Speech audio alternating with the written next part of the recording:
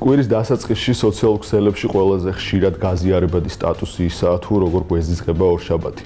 ამ თემის ირგვლივ საუკეთესო კომენტარი რაც მინახავს სლავო ჟიჟეკის ფრაზაა თქვენ არ გეზიზღებათ ორშაბათი, თქვენ გეზიზღებათ კაპიტალიზმი. თუმცა სამწუხაროდ ამ თეზისის განვრცობილი მსჯელობა აღარსაც შემხედრია. ამიტომ თავად ვიკისრები მის განვრცობას თუ გაიწოს ორშაბათის სიძულვილს და როგორ შეგვიძლია დავაღწიოთ მას თავი.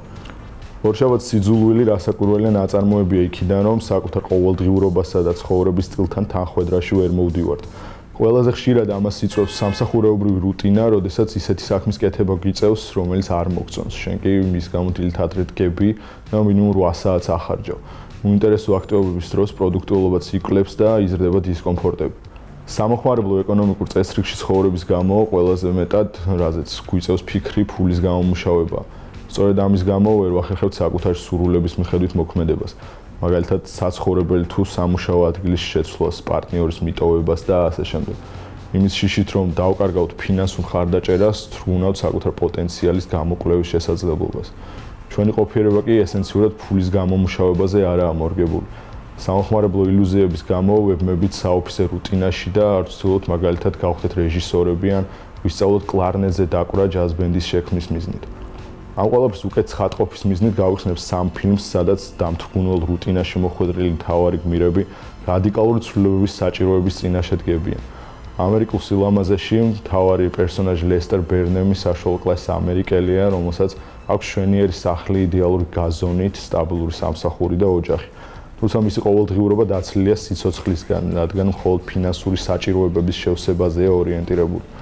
მის შემთხვევაში გამოსაფხიზლებელი დარტყმა სილამაზესთან კონტაქტი ხდება, საკუთარი შვილის კლასელთან შეხვედრა, რომელიც ცხოვრებაში დააბრუნებს და უკეთეს უფრო საინტერესო ადამიანად გარდაქმნის სურვილს გაუჩენს.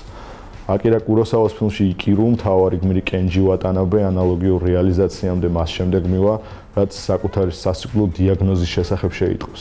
მისთვის ყოველდღიურობის რუტინიდან გამოსვლა და ცხოვრების საკუთარი ინტერესების მიხედვით კონსტრუირება სიკვდილთან სიახლოვის გააზრებისას მოხდება.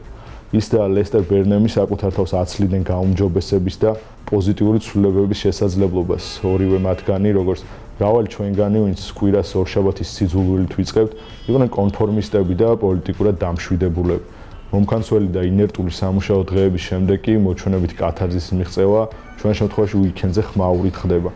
საკუთარ თავს ვარწმუნებთ იმაში რისიც ბოლომდე არც გვწამს რადგან ასე უფრო იოლია ამგვარად ვრჩებით მოტყუებულ მდგომარეობაში და ვიქმნით de facto კომფორტს, რომელიც შესაძლოა ხანმოკლე პერსპექტივაში მუშაობდეს, მაგრამ შედეგად ვიღებთ ტრამვებს, რომლებიც შორი ახლო მომავალში აუცილებლად შეგვახსენებს თავს. თუმცა გამოსავალი ყოველთვის არსებობს. ტრუმენის შოუში მთავარი გმირი ტრუმენ ბურბენკი საკუთარი ფალსიფიცირებული ცხოვრების შესახებ ეჭვების გაჩენის შემდეგ ცდილობს მისგან გაქცევას, შიშების გადალახვას და ახალი ნამდვილი ცხოვრების დაწყებას, სადაც არა ნაკარნახები, არამედ საკუთარი სურვილების მიერ ნაწარმოები ადამიანი იქნება. თუ ლესტერისთვის სილამაზე, კენჯისთვის კი სიკვდილი, ტრუმენისთვის ცვლილებების აუცილებლობის რეალიზაციამდე მისასვლელ ტრაექტორიას საკუთარი ყოფის ავტომატურობის გააზრება ქმნის. და ალბათ ეს არის საუკეთესო მექანიზმი, რომელთაც უნდა ვიმოქმედოთ. ის თუ რას წარმოადგენს დღეს, არ არის ჩვენი სასრული მოცემულობა, ჩვენი რეალური პორტრეტი არის ის თუ რისი პოტენციალი გვაქვს და როგორ და რამდენად მოვახერხებთ მის განხორციელებას. წარმოიდგინეთ, რამდენად აბსურდული იქნება საკუთარი სამყაროდან გასული ტრუმენი ახალ შესაძლებლობებთან შეხვედრისას, კლაურ დამორჩილდეს წინასწარ განსაზღვრულ ნორმებს და კვირა ორშაბათის სიძულვილით დაიწყოს. ამიტომ ვეცადოთ რომ არ შეუშინეთ დრამატულ ცვლილებებს და ეს გავაკეთოთ არა სიკვდილის შიშით ან სილამაზის აღმოჩენით. ამ დიმის გაცნობიერებით რომ იმაზე მეტად თავისუფლები ვართ ვიდრე გონია და საკუთარი ცხოვრების კონსტრუქციის არქიტექტორები თავად უნდა ვიყოთ. შემდეგ კი ეს ინდივიდუალური გამოღვიძება კოლექტიურად ვაქციოთ. ახლა კი იმ შემთხვევისთვის თუ ერთმანეთს ვეღარ შევხვდებით, შუა დღეს აღამო და გამიშვიდობის.